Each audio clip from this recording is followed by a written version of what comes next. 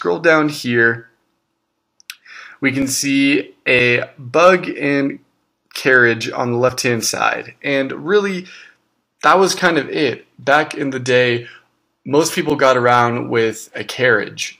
And honestly, cars came around to make people's lives way more easier so that they could travel longer and further than a horse or human ever could. So right here we have the very first combustion engine, or car I should say, and a combustion engine is what propels a car into motion, and that's what you can kind of see back here. And this has been invented and reinvented by many engineers and scientists over thousands of years. And this is going back as far as the Roman Empire to understand how a crank works to modern day with truly self-driving cars. It's amazing for how fast this has really evolved.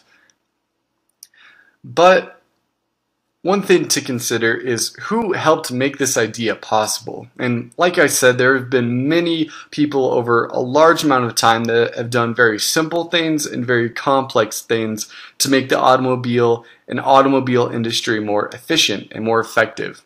But these are just a few that you'll probably know or have some idea of. So right here we got Thomas Edison and he was an amazing inventor and actually created the nickel iron battery for automobiles.